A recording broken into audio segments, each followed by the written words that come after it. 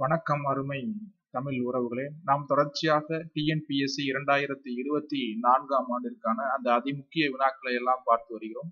அந்த வரிசையிலும் இன்றும் கூட வரலாறு சார்ந்த கற்காலம் சார்ந்த வினாக்களை எல்லாம் தொகுத்திருக்கிறேன். வாருங்கள் பார்த்து விடலாம். முதல் வினா புதிய கற்கால மனிதன் எந்த வகையான பாறைகளில் தங்கள் குடியேற்றத்தை நிறுவினான்? கிரானைட் பாறைகளில் கிரானைட் பாறைகளில் தான் புதிய கற்கால மனிதன் தங்களுடைய அந்த குடியேற்றத்தை நிறுவினார். இரண்டாவது அது முக்கியம்னா இந்திய துணைக்கண்டத்தின் புதிய கற்காலத்தின் காலம் எது? இந்திய துணைக்கண்டத்தினுடைய புதிய கற்காலத்தின் காலம் கிமு நாலாயிரம் முதல் ஆயிரத்தி எண்ணூறு வரை. கிமு நாலாயிரம் முதல் ஆயிரத்தி எண்ணூறு வரை. மூன்றாவது அது முக்கிய வினா கீழ்காணும் எந்த மனித வளர்ச்சி பரிமாணம் சரியாக பொருத்தப்படவில்லை என்று கேட்டிருக்கிறார்கள். முதல் அந்த விடையை பார்த்து விடலாம். பின்தங்கிய உணவு சேகரிக்கும் நிலையை கற்காலம் என்றும் முன்னேறிய உணவு சேகரிக்கும் நிலையை இடைக்கற்காலம் என்றும் உணவு தயாரிக்கும் நிலையை சாக்லித்திக் காலம் என்றும் நகரமயமாக்குதலை வெண்கல காலம் என்றும் குறிப்பிட்டிருக்கிறார்கள். இதில் தவறானது அதாவது சரியாக பொருத்தப்படவில்லை என்று கேட்டிருக்கிறார்கள். மனித வளர்ச்சி பரிமாணம் சரியாக பொருத்தப்படவில்லை என்று கேட்டதால் இதற்கு சரியான விடை உணவு தயாரிக்கும் நிலம் சாக்லித்திக் காலம் என்பது தவறாக பொருத்தப்பட்ட ஒன்று. எனவே இதற்கு விடை ஆப்ஷன் சி. நான்காவது வினா வரலாற்றுக்கு முந்தைய எந்த காலகட்டத்தில் சுடுமண் உருவ கலை வழக்கத்திற்கு வந்தது? வரலாற்றிற்கு முந்தைய எந்த காலகட்டத்தில் சுடுமண் உருவக்கலை வழக்கத்திற்கு வந்தது? இதற்கு விடை புதிய கற்காலம். புதிய கற்காலத்தில் தான் வரலாற்றுக்கு முந்தைய காலகட்டத்தில் அந்த சுடுமண் உருவ கலை வழக்கத்திற்கு வந்தது. ஐந்தாவது வினா மனிதனின் தடயங்கள் முதன் முதலில் இந்தியாவில் எங்கு கண்டெடுக்கப்பட்டன? மனிதனுடைய தடயங்கள் முதன் முதலில் இந்தியாவில் தக்காணத்தில் கண்டெடுக்கப்பட்டன. மனிதனுடைய தடயங்கள் முதன் முதல் இந்தியாவில் தக்காணத்தில் தான் கண்டெடுக்கப்பட்டது. ஆறாவது வினா இடைக்கற்காலத்தின் காலம் எது? இடைக்கற்காலத்துடைய காலம் கிமு எட்டாயிரம் முதல் கிமு நாலாயிரம் வரை. கிமு எட்டாயிரம் முதல் கிமு நாலாயிரம் வரை தான் இடைக்கற்காலம் என அறியப்படுகிறது. அடுத்த வினாவை பாருங்கள். ஆயிரத்தி எண்ணூத்தி அறுபத்தி மூணாம் ஆண்டு யாரால் பழைய கற்கால கருவிகள் முதலில் இந்தியாவில் கண்டுபிடிக்கப்பட்டது? ஆயிரத்தி எண்ணூத்தி அறுபத்தி மூணாம் ஆண்டு யாரால் பழைய கற்கால கருவிகள் முதலில் இந்தியாவில் கண்டுபிடிக்கப்பட்டது? Robert Bruce. ராபர்ட் புரூஸ் என்பவர் தான் ஆயிரத்தி எண்ணூத்தி அறுபத்தி மூன்றாம் ஆண்டு பழைய கற்கால கருவிகள் முதலில் இந்தியாவில் கண்டுபிடிக்கப்பட்டது. எட்டாவது வினா இடை பழங்கற்காலம் பற்றிய பின்வரும் சொற்றொடர்களை கவனிக்க பின் சரியான பதில்களை தேர்ந்தெடுத்து எழுதுக. முதல் ஒன்று கருவிகள் அளவில் சிறியன. இரண்டாவது ஒன்று அதிரம்பாக்கம் குடியம் வடமதுரை ஆகிய இடங்களில் நடந்த அகழ்வாராய்ச்சியில் கிடைத்துள்ளன. மூன்று முதுமக்கள் தாளிகள் கிடைத்துள்ளன. நான்கு உணவுப் பயிர்கள் பயிரிட்டனர். அதாவது இடை இடை பழக்கற்காலம் பற்றிய பின்னொரு சுற்றல் கவனிக்க பின்வரும் பதில்களை தேர்ந்தெடுத்து சரியான பதில்களை எழுதுக என்று கேட்டிருக்கிறார். எனவே இதில் சரியானது என்று பார்த்தோமேயானால் கருவிகள் அளவில் சிறியன மற்றும் அதிராம்பாக்கம் குடியம் வடமதுரை ஆகிய இடங்களில் நடந்த அகழ்வாராய்ச்சியில் கிடைத்துள்ளன என்பது இதில் சரியான ஒன்று. எனவே ஒன்றும் இரண்டும் சரியான ஒன்று. இடை பழங்கற்காலம் பற்றிய சொற்றொடர்கள்.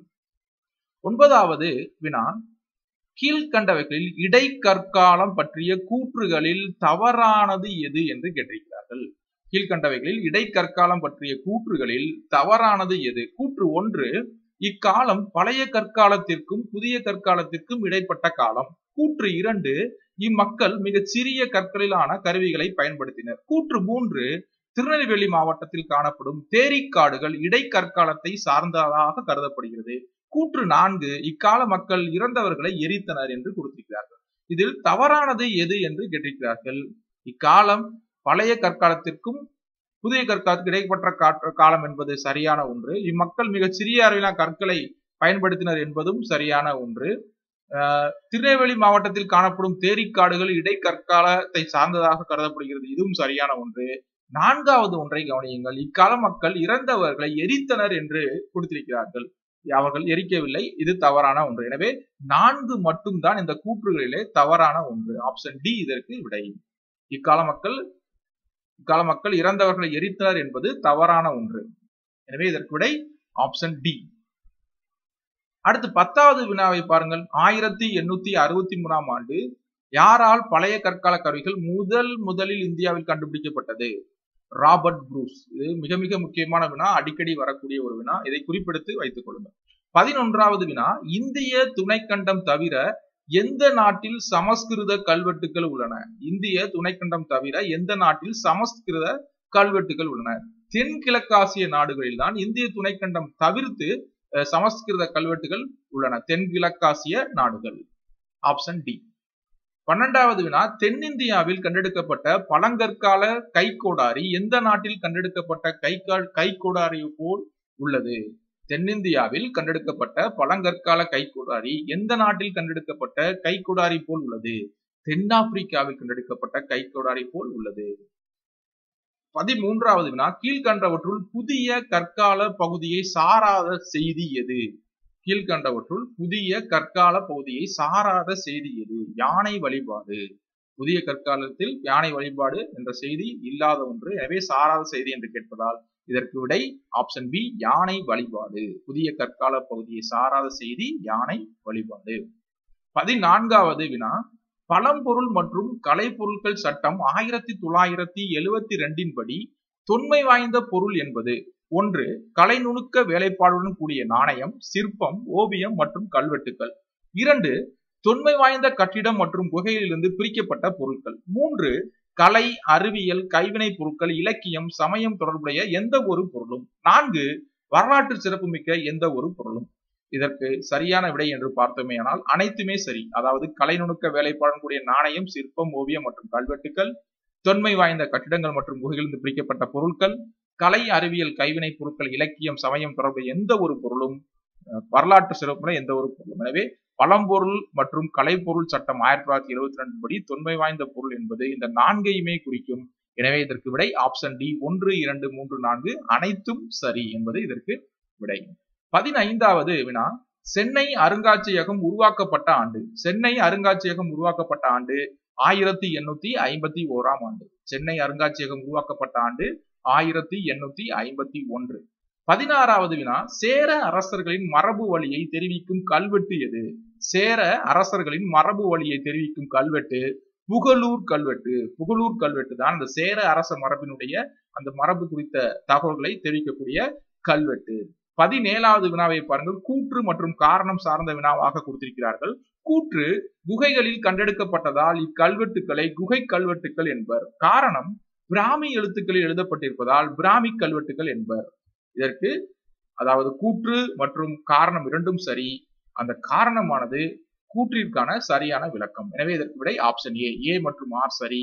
ஏவிற்கான சரியான விளக்கம் ஆர் ஆப்ஷன் ஏ இதற்கு விடை. பதினெட்டாவது வினா. தமிழ் பிராமி கல்வெட்டுகளில் இடம்பெயரும் பெயர்களை பொறுத்துக. அரிக்கமேடு அகல் திருப்பரங்குன்றம் நெடுஞ்சாத்தன் புகழூர் பிடந்தை கழுகுமலை நெடுஞ்சாலியாம் எனவே இதற்கு சரியான விடை மூன்று ஒன்று நான்கு இரண்டு. அரிக்கமேடு அகல் திருப்பரங்குன்றம் நெடுஞ்சாத்தன் புகழூர் பிடந்தை கழுகுமலை நெடுஞ்சாலியான். எனவே இதற்கு விடை மூன்று ஒன்று நான்கு இரண்டு ஆப்ஷன் சி பத்தொன்பதாவது அதிமுக்கிய வினா பூம்புகார் அகழ்வாராய்ச்சியில் கிடைத்த நினைவு சின்னம் எது? பூம்புகார் அகழ்வாராய்ச்சியில் கிடைத்த நினைவு சின்னம் புத்த விகாரத்தின் அடித்தளம். பூம்புகார் அகழ்வாராய்ச்சி கிடைத்த நினைவு சின்னம் எது என்றால் புத்த விகாரத்தினுடைய அந்த அடித்தளம் தான் பூம்புகார் அகழ்வாராய்ச்சியில் கிடைத்த நினைவு சின்னம். இன்றைய தொகுப்பினுடைய அந்த இறுதி வினா இந்திய தொல்பொருள் துறையில் யாருடைய பங்களிப்பு முக்கியமானதாக கருதப்படுகிறது? இந்திய தொல்பொருள் துறையில் யாருடைய பங்களிப்பு முக்கியமானதாக முக்கியமானதாக கருதப்படுகிறது என்றால் ஜேம்ஸ் பிரின்ஸ்பெட் ஜேம்ஸ் பிரின்ஸ்பெட்டுடைய பங்களிப்பு தான் இந்திய தொல்பொருள் துறையிலுடைய முக்கியமானதாக கருதப்படுகிறது. அருமை தமிழ் உறவுகளை. இதுவரை நீங்கள் நமது சிபிஎஸ்சி கிங் தமிழ் யூடியூப் சேனலை சப்ஸ்கிரைப் செய்யவில்லை என்றால் இப்பொழுது சப்ஸ்கிரைப் செய்யுங்கள். உங்கள் நண்பர்களுக்கும் நமது சேனலை பற்றி எடுத்து கூறி அவர்களையும் சப்ஸ்கிரைப் செய்ய சொல்லுங்கள். இந்த தருணத்தில் உங்களிடம் விடைவிட்டு செல்லும் நான் அரசு போட்டித் தேர்வு பயிற்சியாளர் சீனிவாசன். நன்றி வணக்கம்.